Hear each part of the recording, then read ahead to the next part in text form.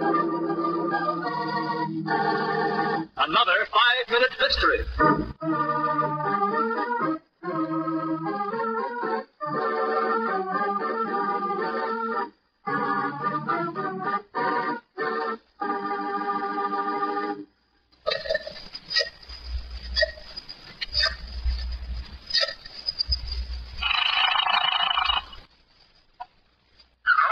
Croydon, this is Mike Davis, editor of the Herald. Your paper's not supporting me for re-election as district attorney.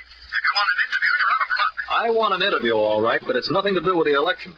Someone broke into my home tonight and stole some valuable evidence against Rocky Marino that I was going to turn over to you tomorrow. What sort of evidence? Enough of the kind to send Marino to the chair. Great Scott, Don't let my publisher know, or I'll be looking for a new typewriter. You better come over here right away. My secretary got a look at the man who broke open my safe. Right away, Davis. This is the break I've been looking for.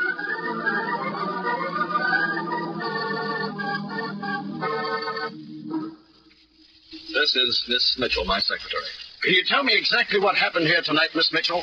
I knew about the evidence Mr. Davis had against Marino, of course, and I came here tonight to retype the case summary that Mr. Davis had prepared. Yes, Croydon, I've been working on this expose for several months. Tonight it was to be finished. Tomorrow you would have been handed the election on a silver platter. We've got to recover those papers. I know what the thief looked like. Excellent. Now, please proceed. He was rather a tall man who walked with a limp.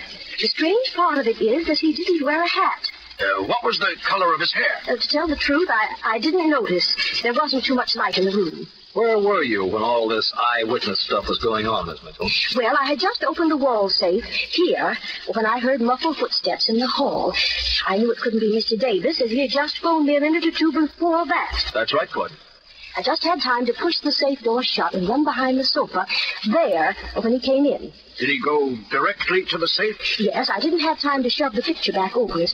I was afraid to show my face too much, so I stayed hidden most of the time behind the couch. How long did you have to stay there? Oh, he worked on the safe about 20 minutes. Then he finally got it open, took out the papers, and ran out. I say. Tell me, Miss Mitchell, how long have you worked for Mr. Davis? Uh, about a year. Why? Because you're out of a job. Your story is nothing but a pack of lies.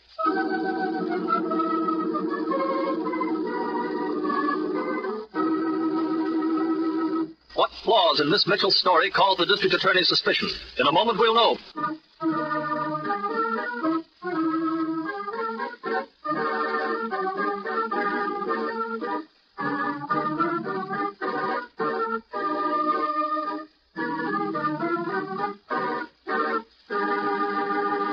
Now, back to our story. But I told you the truth, Mr. Croydon. Then how do you explain the inconsistencies in your story? First you told me the thief walked with a limp, and then you told me he ran from the room. But the big lie in your fairy tale, Miss Mitchell, came when you said you just had time to push the safe door shut and then hide behind the couch.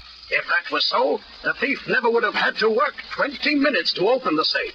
It never could have been locked. Come on, Davis. You've got a front page story on my re-election as soon as Miss Mitchell returns the evidence.